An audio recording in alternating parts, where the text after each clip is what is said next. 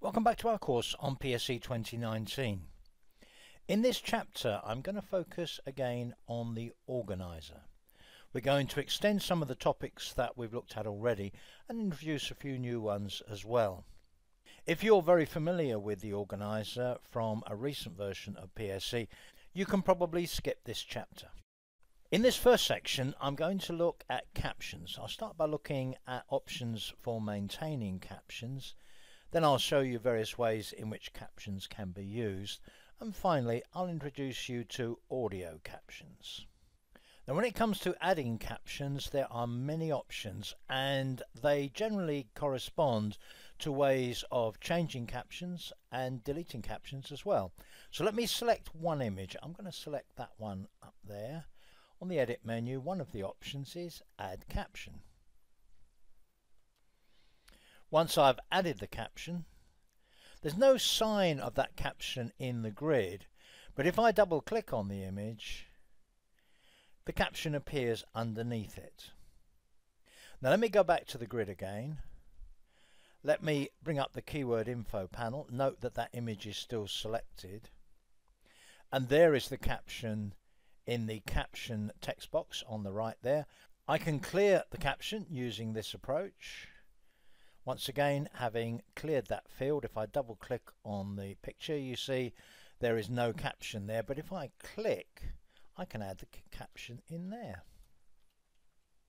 Back to the grid again, right click on the image, add caption. There are many, many options. If I clear the caption there and click on OK, it says no caption was entered. Do you want to clear the caption? Yes. So there's a selection of ways of maintaining captions. There are many ways in which captions can be used. Let me just put this caption back. We've already seen some of them, so if I double click on that image I can see the caption below the image and if I go into full screen view, don't forget keyboard shortcut F11, the caption actually appears over the image. There are many other situations in which captions can be used. For example, you can optionally include them in slideshows and other artifacts that you create. Their inclusion is an option when printing images. And you can even search on captions as well, as we'll see later on in the course.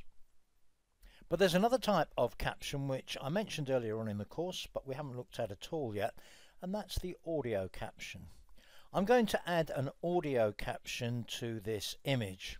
Now you can use an existing sound file as an audio caption or you can record one yourself. I'm going to record one on this occasion. So with the image selected I use this little icon down here record audio caption. Now if I click on file in the menu I can browse to one of the folders on my device and locate a suitable audio caption if I've already got one there. But as I say, on this occasion, I'm going to record my audio caption. There's the record button. I'll make it a fairly short caption, but you can actually make it as long as you want, really. So let me click on record. The red deer is the largest land mammal in the UK. Deer on the open hills in Scotland are smaller than those in lowland English woodland.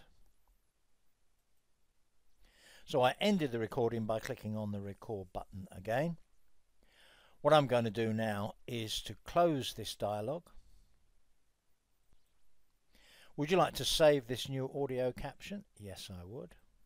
It's given a default name and the default name is created by using the name of the file itself but changing the extension to .wav. It's recorded as a WAV file. So let me return to the grid. If you look at the thumbnail in the grid, you'll see there's a little icon in the top right hand corner there indicating that there is an audio caption. You can also see the name of the audio file in the panel on the right there. And any time that I'm looking at this particular image, let me open it up again, I can play the caption just by clicking on the little icon in the top right hand corner. Up comes the dialog for playing the caption. Note that I can always swap the caption for a different one if I want to, but just to play it, The red deer is the largest land mammal in the UK. Deer on the open hills in Scotland are smaller than those in lowland English woodland. And that's it, and the end of this section. I'll see you in the next one. Hi everyone, Nigel here, and thanks for watching. If you're not a subscriber, go ahead and click down below to subscribe so you can get notified about similar videos we upload. Now, click on over there to get the complete course in Adobe Photoshop Elements 2019. And then click on right about over there to watch the complete set of videos in this playlist. We'll see you next week with additional videos.